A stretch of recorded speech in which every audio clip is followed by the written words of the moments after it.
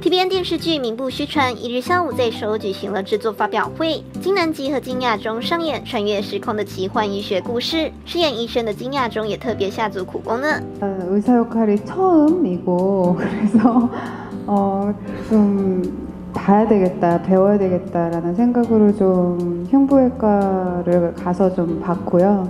뭐 수술뿐만 아니라 아침 처음 컨퍼런스부터 시작해서 뭐 회진, 수술, 중간에 식사하시는 거 뭐 다 함께 참여하면서 어, 있었고 金南吉和金亚中合作感觉如何呢？ 저는 원래 여배우복에 굉장히 많은 배우라고 생각을 하고 있어요. 그래서 이번에도 사실은 그렇게 생각이 들고 김여중 씨가 갖고 있는 열정이 굉장히 다른 배우들보다 좀 다르다고 생각을 해요. 그래서 어, 굉장히 디테일하게 파려고 하고 다른 배우들보다 조금 더 그런 열정이 있지 않나 이렇게 생각이 듭니다. 前辈们的努力，身为后辈的刘明奎又觉得如何呢？ 뭐, 형님이야 정말 그 존재 자체가 멋있는 것 같고요. 웃잖아요.